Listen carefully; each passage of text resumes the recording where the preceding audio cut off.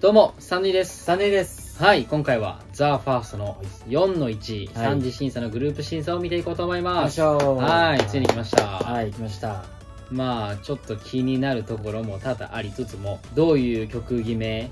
うん。で、まあ、スカイハさんが独自に決めてるのか、うん順位順なのかとか、まあうんそういうのも、もろもろね、気になっているんで。確かに。グループとしてが最終の目標だから、うん。その中で多分これがもう何一番大きな課題になってくると思うんだよ。個人の力というよりかは、グループでどう見せれるか、うん。どう力を出せるかっていうのが一番の鍵だと思うので、うん。まあはい基本やっぱ自分で頑張ってる人ばっかりだから、うん。まあ所属してる人がねもともといるわけじゃないからさ、うん。そのグループでどう自分を出していいんだろうっていうのは多分みんなあんまり分かんないところだと思うんだよ、だと思ううん。自分のエゴを通しすぎてもいけないし、でグループに埋もれちゃってもやっぱ自分が目立たないとやっぱダメなオーディションだから、はいはい。っていうそのなんか塩梅も多分ね初めてやる人はいるだろうから、うん。うん、そこがどう皆さんが工夫して力を発揮していくのか、うん。そういう部分にも注目しながら見ていこうかなと、そうですね。はい、思います。では早速はい、見ていきましょ行きましょう。うはい。さあ行くぞ。はい。では4の1三次審査再生。あとおなんか曲変わったね。うちょっとね。ん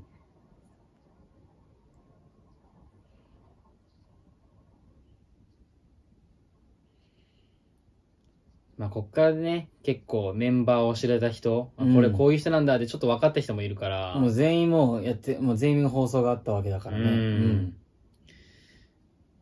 まあ、だから性格とかは本当に分かんないわけじゃんこうやっていきなり出会うわけだから、暫定の順位なので。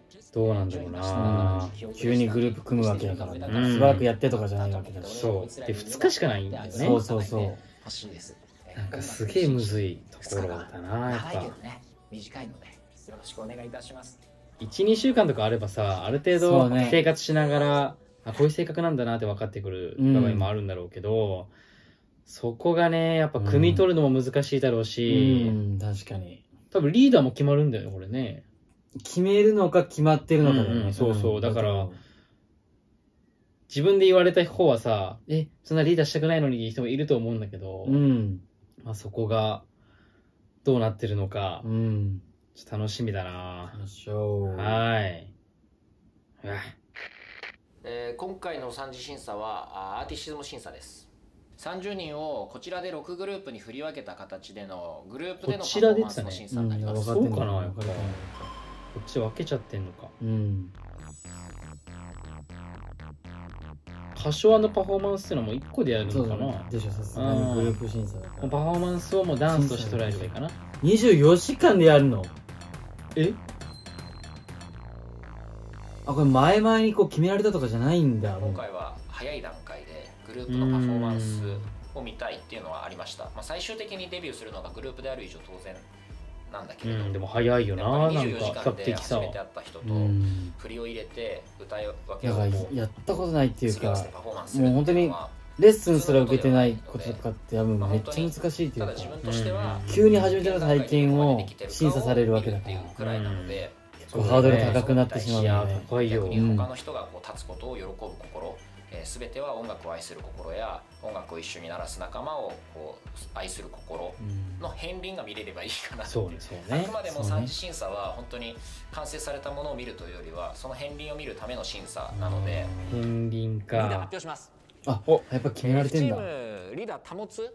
あ決まってるえどうだ？ろうわしかも。そういう空気になるよね。そういう空気になるよね。うんうんうん。いいチームが、まあ、悩んだんだけどラン君お願いしますおいたいたい。た ラン君お願いします。まあまあそし1位て B スチームだ梶君、はで C チーム小沢君。B チームおリーダー颯太で A チームは竜兵にお願いしようかなと思ってます。おおおそんな感じで。全然年上っていう感じはなくもみんなが実力全部オールラウンダーの人がやるっていうわけじゃなくて。明日もあるの独断ので偏見っていう感じか。体力に相談しながら明日いいパフォーマンスを見せるためにバレるだろうと正解かっていうのをみんなで話し合ってくれればいいなと思います。よろしくお願いします。スカイハイさんのもうありがとううんじで。おおこほうええほうほうほう今の B チームかな。うん。うん。うん。うわーええだからスッと始まったねねババババーン出るわけじゃなくてうん本当だ。あもう言う必要もないなこれ、うん、何も言ってないのに勝手になってるもんな早い。おおそう。まだこれからなんだけど。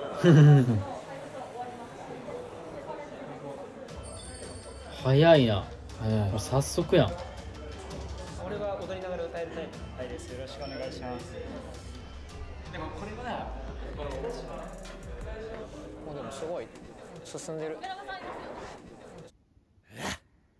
うー。ん。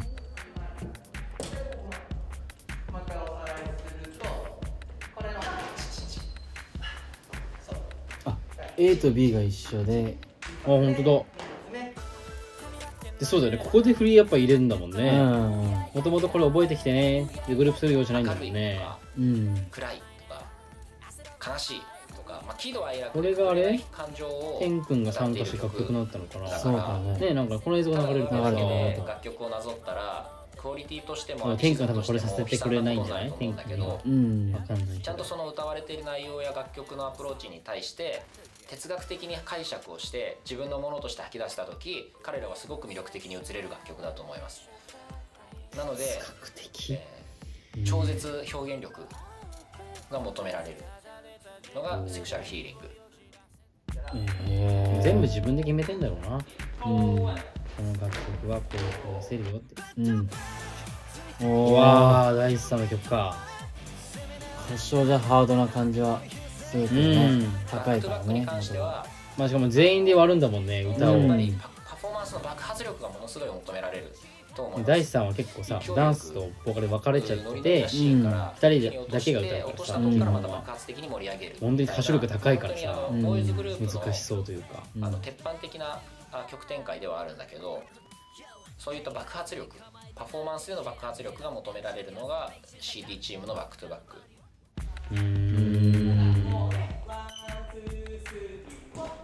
でも EF で戦うとかじゃないんでしょ？でもあそうどうなんまあ戦うとかではないと思うよ普通に。うん。うん。だから2チーム同じ楽曲っていうのがさ、まあ、うん。比べられる対象というか、うん。すごいかまあ比べることによってもその個人のああ比べることこうに立つとかねだからできるからあそこで共感できるそれも踏まえてるんじゃないかな。うん面白いな。楽曲に共鳴する力。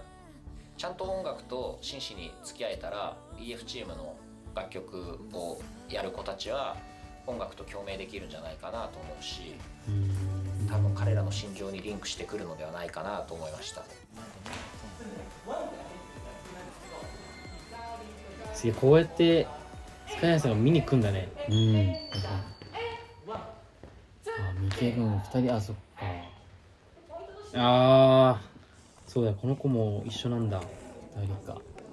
ちょっとね不安になるよね完全に未経験なのが朝日がちょっと萎縮しちゃってるさ、ううん。んそれがい心配本当にね制限時間とかもねあるから。ら歌うって早くやっぱり早くみたいな。主技能だからね、うん。それを忘れがちなんだよね俺もね。いや本当どうしよう。結構難しい子多い。難しいっつうのは。もねダンスを。どう判断するのが正解かは伸びそうだなっていう勘に全てかけていいものなのかああそういう。あと何の何のスキルをこの場で重視するか。ちょっと複雑です。悩むなやっぱうなこれで半分に絞るって言ってるからね。イメージをちゃんと持った時にそうだね。やっぱ。こうなるかな。もう何かが決まった？うん。何かが決まったよ。うん。うわーどうなんだろうな。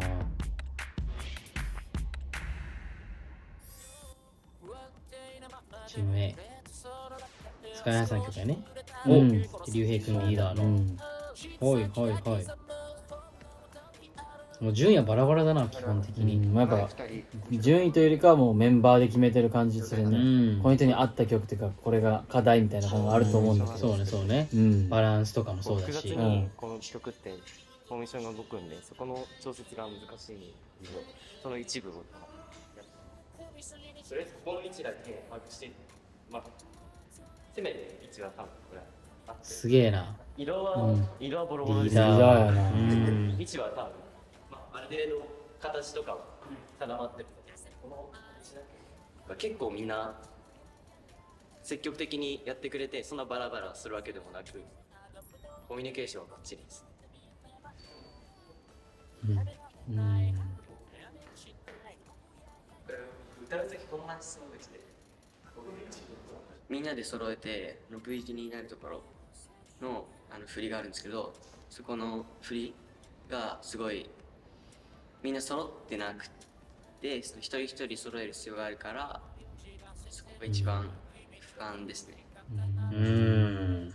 難しいですよニュアンスとかもねなんか取り方もちょっと難しい。歌唱審査も終わり終揃えるってのも明さ日う。ん。グループでのパフォーマンスに1 2ヶ月準備するわけじゃないから。一日になると思うんですけど、気合を入れて全力で取り組んで仲間とも協力してっていうのを意識していきたいなとうん。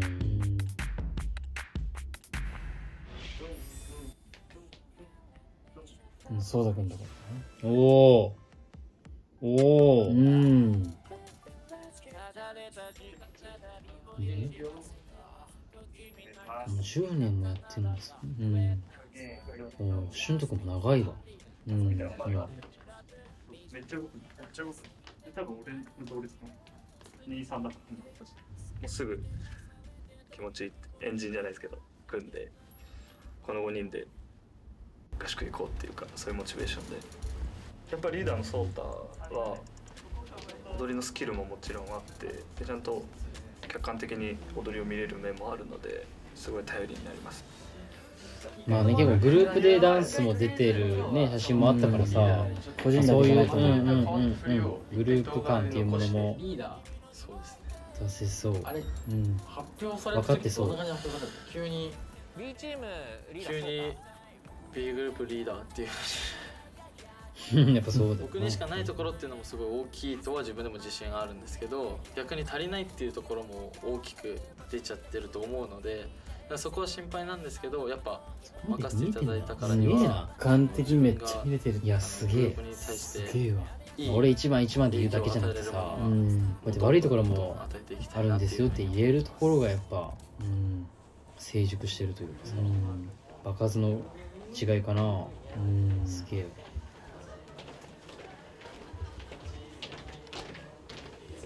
すごいね。もう。特に誰がってこともないね少し春斗がおとなしくなったぐらいかうんうんそう。そう。いいだからでも春いいね。いい環境っぽいね。めっちゃ何言われてるかめっちゃ気になるくないうんこれやってる側は。やらないきゃ。くらね番組とはいえど。まあ、このチームは そのもともと順位だけじゃなくてじ実力派が揃っているチームなのでなんかちょっと圧倒的だねっていう感じを見せてほしいところはまあ正直あります。悲しいことにあの他のグループと一番違うのは圧倒的だねって思われないとなんか期待してたことじゃないかもねって思われる可能性もあるのがこういう実力派が集まっちゃった時の 危険性だから。うんなのでちょっと圧倒的なものを見せれじゃない？とうんやばいっていう気持ちでちょっと望んでほしいかなと思います。そそんな感じ。ごめんごめん。えごめんお邪お邪魔した。まあねありがとう白ございます。落書いてほしくないっていうのもあるだろうけど。うんうわー。結構プレッシャーになると思う。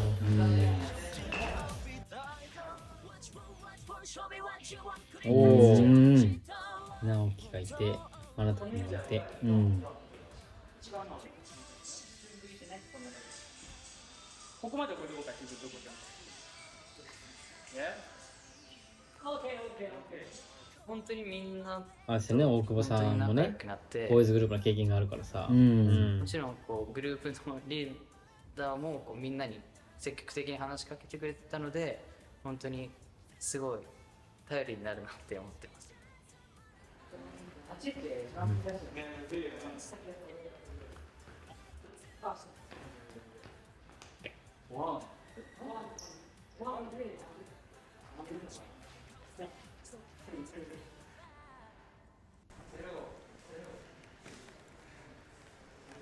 楽曲は大地さんの曲か。調子ですか？疲れてる。いや。いやいやいや疲れて疲れて当然だから。いけそう？まだ。構成が難しい曲なので。バックトゥバック構成複雑だよね、はい。あのマジでそう。あの何削るかは思い切ってやっちゃった方がいい場所結構あると思うよ。ずっと踊り続けなきゃいけないということでは本当ないから。はい。極端な話だけどあのパフォーマンスとしては A メロ最初に歌う人が普通にこうずっと歌ってる時に後ろ4人フリーズあの後ろ4人ずっとフリーズしてて B メロから踊り出すとかでも絶対成立するからあのちょっと止まったらダイエットしてっていいと思うよ。でフリーズ自体はちょっとは入ってるじゃん。だからこれだったらここ踊りたいなっていう場所あったらそれを調整していくっていう作業で全然いいと思う。一回あの自分たちで思ってる以上に削っても成立すると思う。なぜならサビがキャッチーだから。ととはう思う。ん。はいそんな感じです。はい。はい。ちょっとじゃあ難しいよなでもな。削る作業っていうのも。表現うん。ねそうね。本当に。2日間でなんかあのパフォーマンスを完成させなきゃいけないないけないっていう時にまとめる人が重要だと思うんですよね僕。それぞれ戦いだけどやっぱいいものを作りたいからちょっと責任感を持って頑張りたいと思いますあるよ。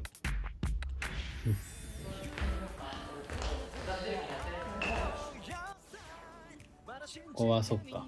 うんカジ君が。まあボーカルって感じやな。そうね。今のまあでも大輝くんかな。うん。はラップだし。ああでもボーカルそうね。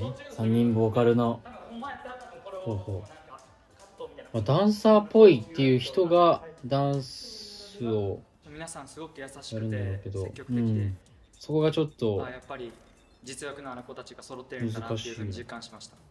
リーダーを任されたからには絶対にパフォーマンスをしてで梶君ってそんなにさまあうまいけど歴的にはさ浅いって言ってた浅いって言ってたよね、うん。まあでもそっか大輝くんもまあやってるから、まあ、ハキハキ言えるところかな。僕がまとめてるっていうよりかはもう最年少の13歳の子がいるんですけど僕よりもリーダーみたいな感じなんですよ。だからそこまであの年でできるとパフォーマンスのまあリーダーに任せっきりでもよくないからな、パフォーマンスの面で結構うん言えるんやろうな。うん。大輝君は。そうね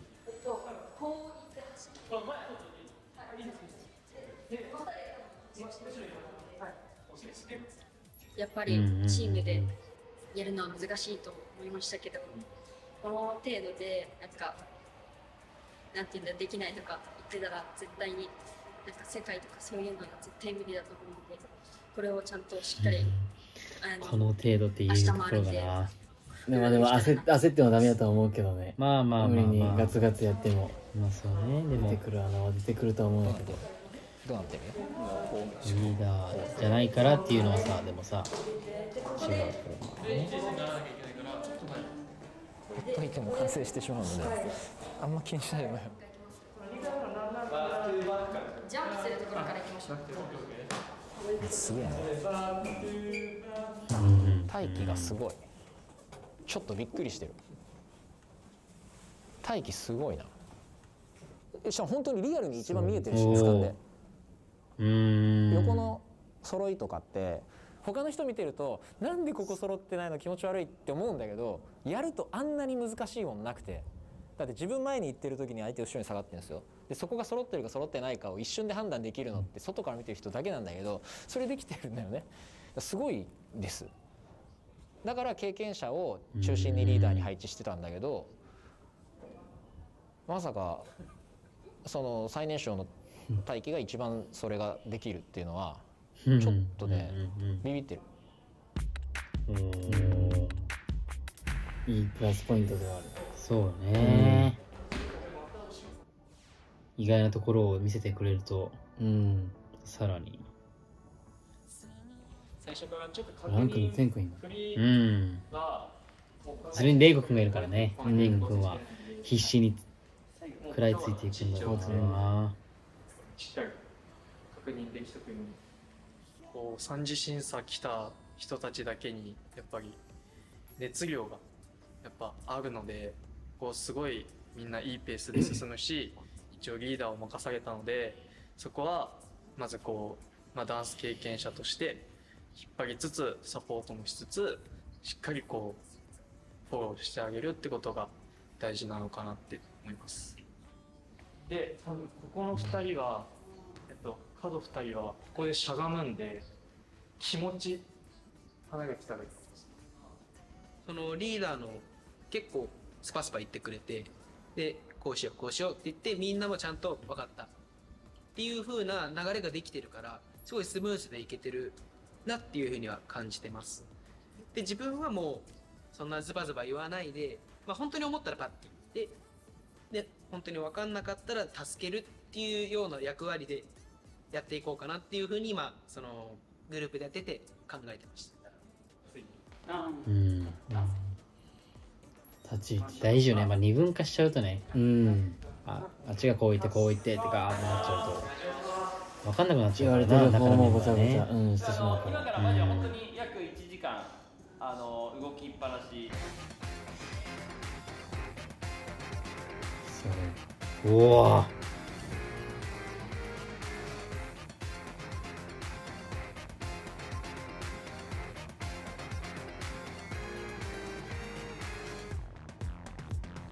悩むよなもうなんか、何していいか分かんない、うん。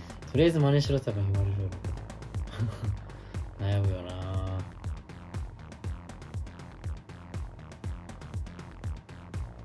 うわ俺最初俺できんかった気がするこれやった。これなこんな感じのことやったことあるけど。いやー。パンクしそう。ってなかったらね。うーん。うわーもう足に疲れが。うん。つっちゃってる。あわ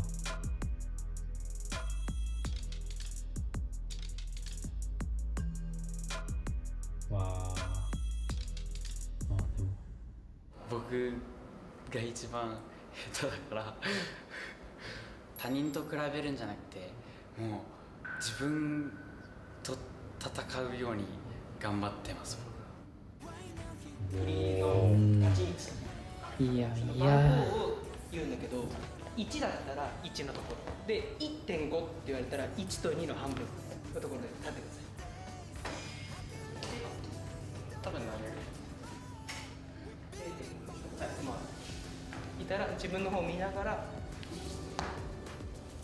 あ惜しい もうこっちに先に体重乗ると。こっちも軸と。でそのままキュッ。こっちでまた着地するっていう。せーの。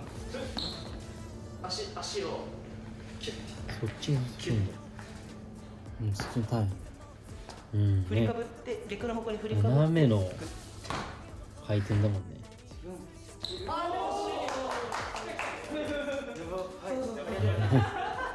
やば。やば。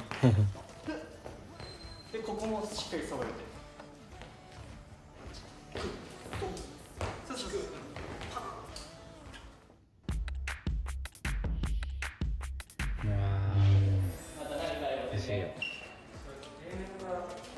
ここは朝日くんが未経験だったかな。うんだったね。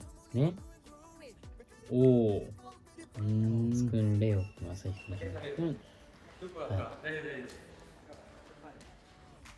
未経験なのが朝日がちょっと萎縮しちゃってるから。うん。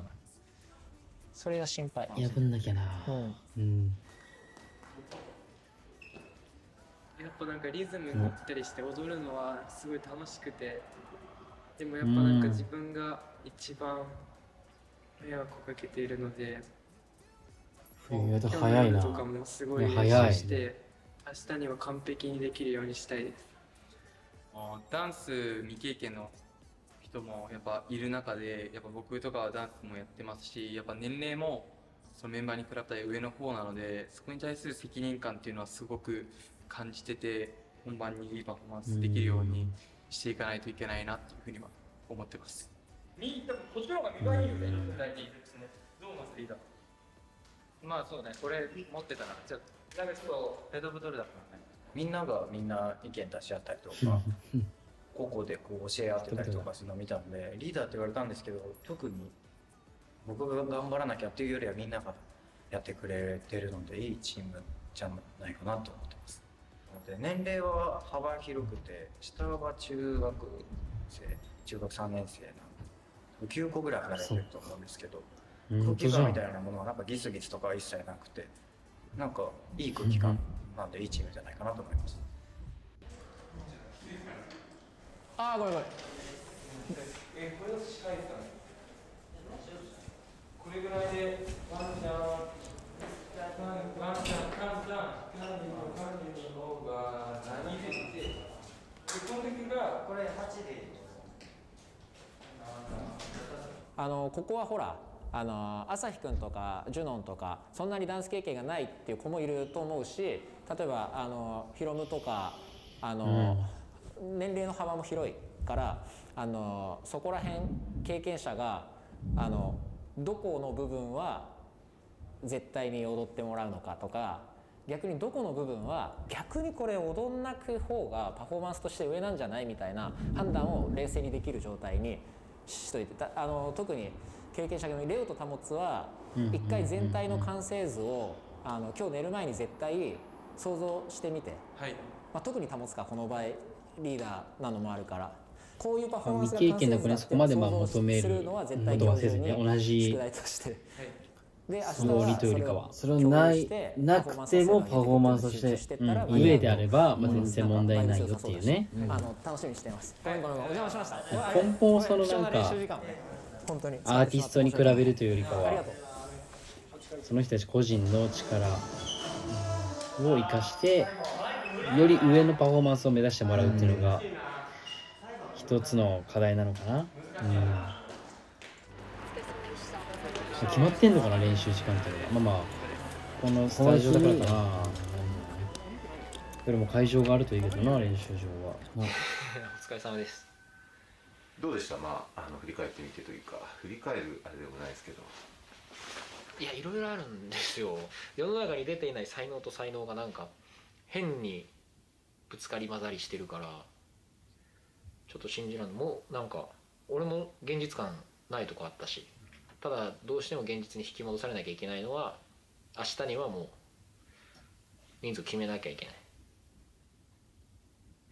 そうだよなパフォーマンスをすそうるっていうだよな。ことは他の人がマイクを持ってる時にそこ尊重しないといけないしてかそもそもそのこの短い時間で完成まで持っていこうと思ったらいろんな人のいろんな意見を尊重しないといけないしでも自分が思う正解を提示しないといけないし短い時間で見せきるスキルがないといけないし2行の歌でおこいつかっこいいなって思わせるってやっぱ相当なもんですよ。しかも人が作った曲なので同時にいろんなものが見れる。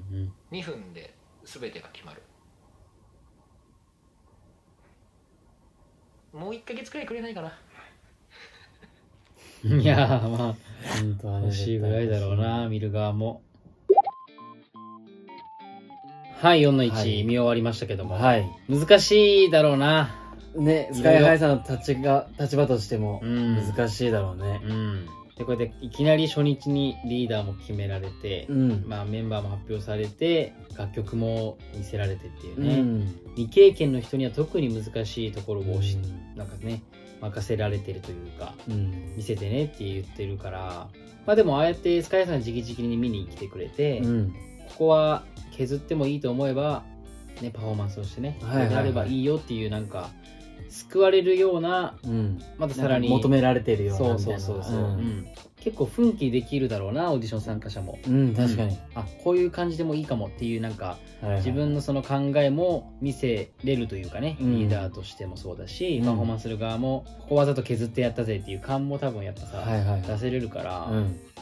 そこのやっぱクリエイティビティもちょっと必要だね。うん。うんまあ本番までにどうなるか本番がどうなるかめっちゃ楽しみな、そう、うん、4の2で完結しちゃうのかな？どうなんだろうね。うんまあちょっと次4の2で、うん。まあ、どういう感じにもうでも明日ね発表しないといけないとか見なきゃいけない決めなきゃいけないって言ってたから、うん。一連見れちゃうのかな？かな？うん。そうですね。まあ楽しみなので4の2はい。次の、はい、4の2を。ぜひお待ちください、ください。その時にまた会いましょう。ましょうじゃあねー。バイバイ。